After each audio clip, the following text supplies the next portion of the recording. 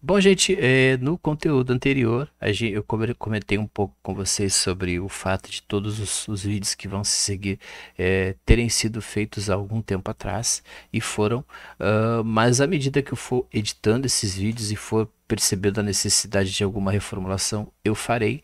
Foi este o caso. É, neste segundo vídeo dessa playlist é, sobre o Gnome Orca, a gente vai fazer aqui o arranque do Orca, a gente vai aprender a chamar ele, vamos fazer essa verificação se ele está ou não na distribuição que a gente está utilizando. É óbvio que se você está seguindo aqui as orientações do canal, ele vai estar, mas você vai querer experimentar outras distros, então é importante é, saber alguns caminhos. São esses caminhos de início do Orca que a gente vai verificar hoje. Então, chamadinha do canal, já voltamos. Acessibilidade livre.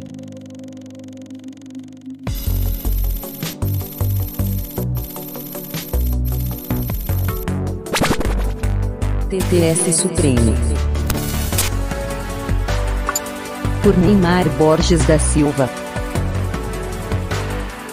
Bom, pois bem, uh, eu, eu, tenho diante de mim o meu desktop baseado no Gnome 41, porque eu estou utilizando aqui o Debian é, 11 Bookworm. A gente já acompanhou vários conteúdos sobre o Debian aqui no canal, este em específico e sobre o Gnome 41 em específico. Eu fiz um vídeo recentemente que me deixou muito feliz. Eu tenho feito vídeos uh, sobre Gnome que tem uh, me dado um retorno muito bom inclusive na comunidade Gnome.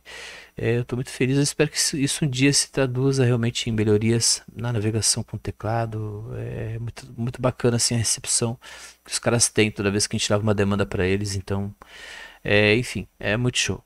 Uh, mas seguindo aqui, relatando as questões sobre Gnome, retomando as questões sobre Orca, Uh, é importante sempre lembrar que vocês tenham sempre em mente é, essa coisa de dar uma olhadinha nas descrições aqui dos vídeos do canal.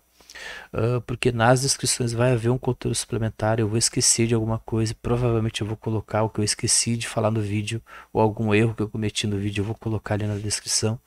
Uh, bem como o link para as documentações, é importantíssimo que você uh, que você comece a cultuar o hábito de ler as documentações, é, enfim, de, de ler tudo que for possível. É, é, fundamental você ser um leitor também no momento de usar o Linux, né? Então, uh, quer conhecer um software, assim, o Linux ele é muito farto em documentações. Muitos softwares são muito ricos nisso, né? Então, ler essas documentações é fundamental. Você descobre coisas incríveis lendo essas documentações. Então, é, é um hábito que você precisa criar é, enfim, né, cultivar essa coisa de prestar atenção realmente né, no que você está fazendo, porque a gente muitas vezes não está lidando aqui com produtos, né, são ferramentas, então são abordagens diferentes. Né, então é um aprendizado. Né, o produto você utiliza, ele é feito para te atender, ele é feito para te dar um conforto, ele é feito para uma série de coisas, inclusive para te aprisionar. Né, então, enfim, né uh, em conforto. Conforto também pode ser uma prisão, né, cara? Vamos combinar, né? Então, enfim, né?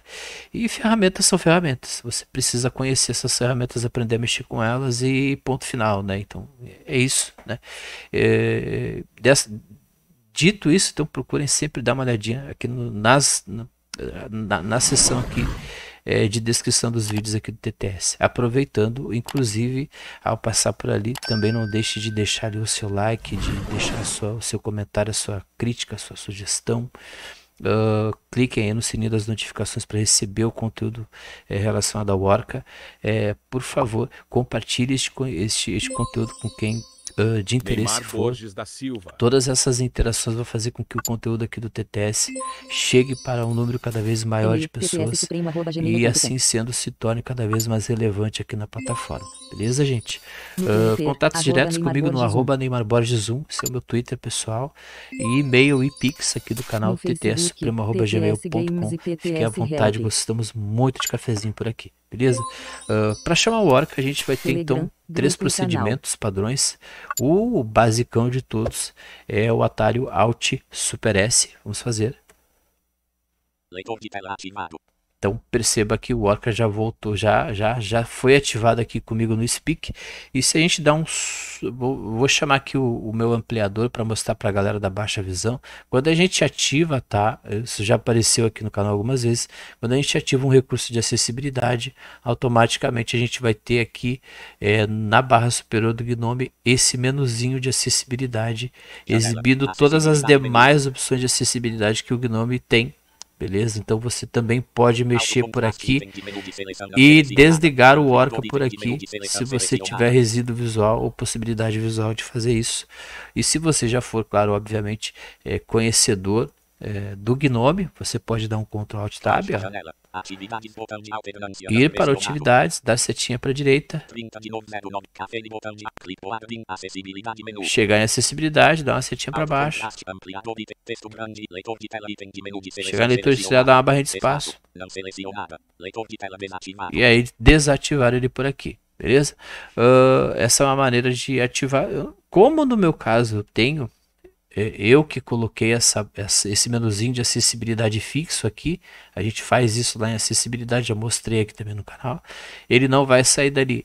Provavelmente, se você não, não ativou o botão do menuzinho de, de acessibilidade lá nas configurações de acessibilidade, ao desativar o Orca, o menuzinho vai sumir dali. Beleza? Tenha isso sempre em mente. Isso, esse foi um dos pontos que eu esqueci de mencionar é, nessa questão de ativar e desativar o Orca beleza?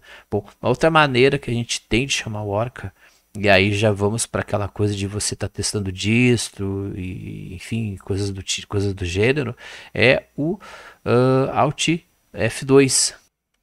Alt F2, aqui, Alt F2, agora ele apareceu.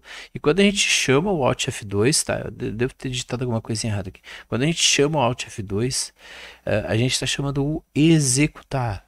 E aí no executar, ele é um enfim, é, uma, é uma janelinha que tem um campo de edição. E aqui a gente joga comandos. A gente vai ver isso é, na playlist mais avançada do Gnome, que vai, vai começar, enfim, que a gente vai começar a trabalhar a partir do ano que vem, beleza? Enfim, né? Vamos, vamos acompanhar aqui primeiramente aqui as questões ligadas ao Orca. Como executar ativado, Alt mais F2, a gente digita Orca. E vamos dar aqui um Enter. Leitor de tela ativado. Janela. Acessibilidade menu. Bom, beleza. Ele ficou lá em cima do menu de acessibilidade porque foi o último item que eu tive antes né, de chamar executar. Né? Uh, eu vou desligar o, o Orca de novo com o mesmo comando Alt Super S. Vamos aguardar. Opa. Leitor de tela desativado. Pronto. É, tem, às vezes tem que apertar o Super, ó, apertar o Super e dar um Alt Super S para desativar. Enfim, são questõezinhas ali que são relacionadas a fluxo de teclado. Enfim, já vimos bastante isso. É, com o tempo vocês vão pegando essas manhas também, beleza? Bom, digamos que você chamou ou você fez o atalho, você usou o executar e não aconteceu nada.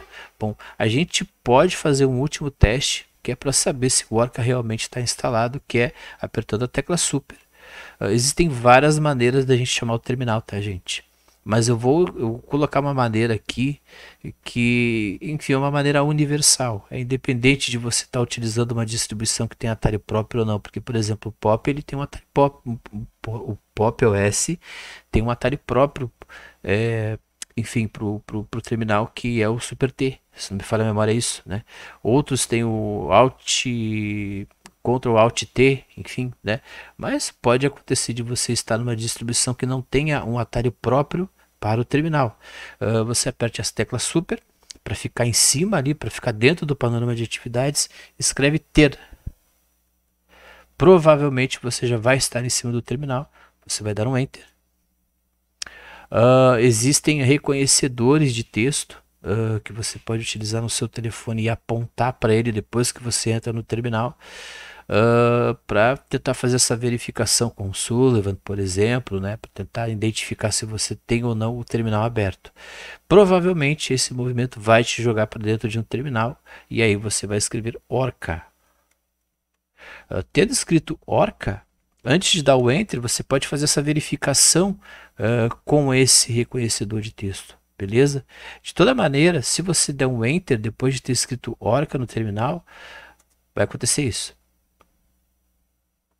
Leitor de tela ativado. O Orca vai aparecer.